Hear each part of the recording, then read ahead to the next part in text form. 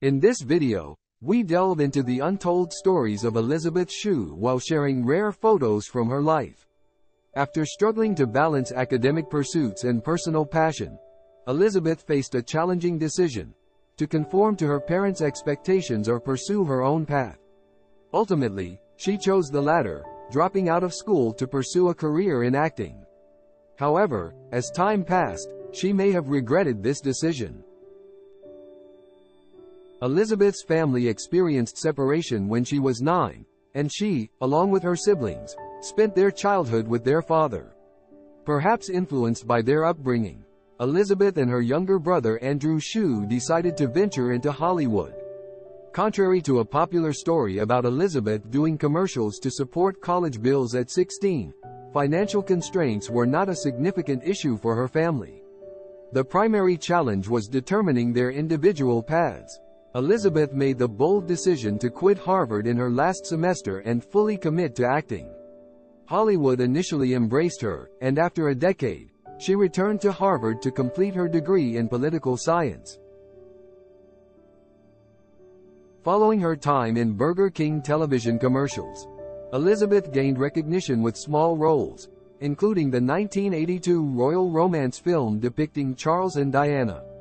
Her breakthrough came with the role of Ali Mills in the blockbuster Karate Kid, and subsequent projects like Cocktail alongside Tom Cruise and notable appearances in Back to the Future 2, The Merry Man, Soap Dish with Sally Field and Whoopi Goldberg followed. Elizabeth Shue's career reached its pinnacle with the 1995 film Leaving Las Vegas, earning her an Oscar nomination for Best Actress. However, Shortly after her successful period, Elizabeth inexplicably disappeared from the limelight at the height of her career, returning later for minor roles on television. Speculations arose about whether she was overwhelmed by personal challenges or left to focus on her family. The true reason behind her decision will be explored later in the video. Before her career achievements, tragedy struck Elizabeth's life when she was a child. During a family vacation in 1988, Elizabeth witnessed the death of her brother in a freak accident. As the only girl among three brothers, this devastating incident had a profound impact on her. William, Elizabeth's brother, tragically lost his life when the rope he was swinging on broke, causing him to fall onto a tree branch that impaled him.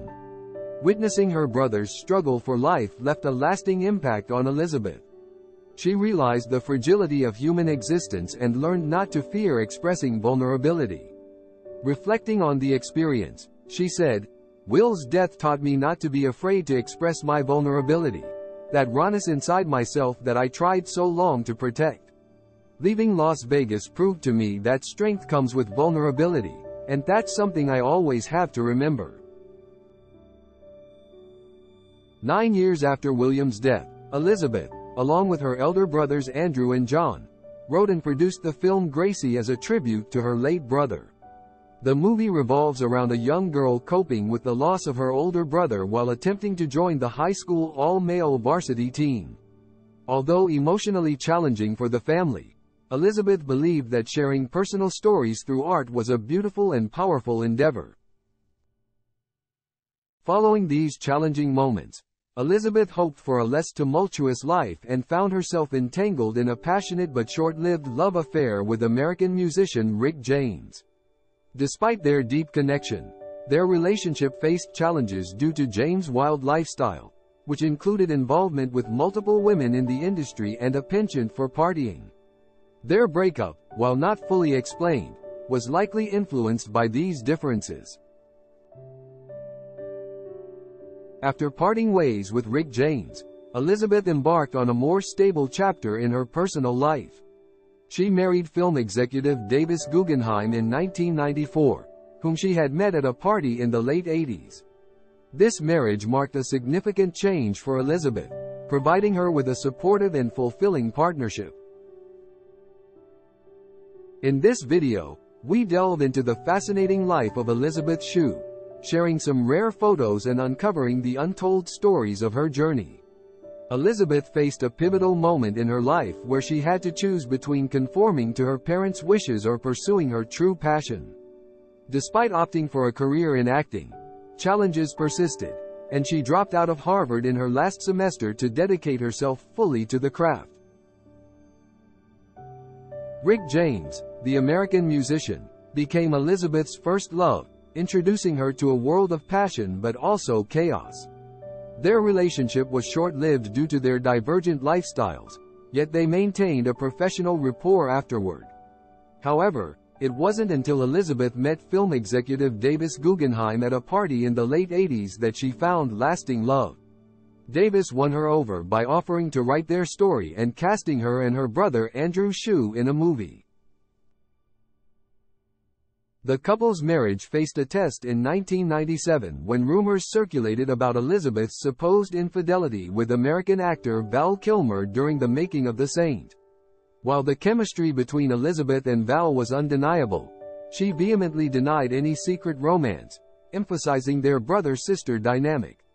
Elizabeth valued her marriage and defended her relationship with Val, highlighting their shared experience of losing brothers in tragic accidents. In discussions about cosmetic surgery, Elizabeth expressed her indifference towards wrinkles and gray hair, standing out as one of the few actresses in Hollywood unbothered by such considerations. She embraced the natural aging process, expressing curiosity about how she would look as an old lady. Elizabeth, shaped by her childhood experiences in a dysfunctional home, prioritized family in her life. Her parents' separation deeply affected her, leading her to focus on flexible, minor acting roles to be present for her children. Despite challenges, her marriage with Davis endured, and Elizabeth continued to take acting roles while enjoying a glamorous lifestyle with her family. In 2020, at the age of 60, Elizabeth reprised her role as Ali Mills in the third season of Cobra Kai, exciting her fans. She currently resides in Wilmington, USA, leading a fulfilling life with her family. Elizabeth Shue, aging like fine wine, boasts an estimated net worth of $20 million. If you enjoyed this video, don't miss our other features on beautiful actresses from bygone eras on the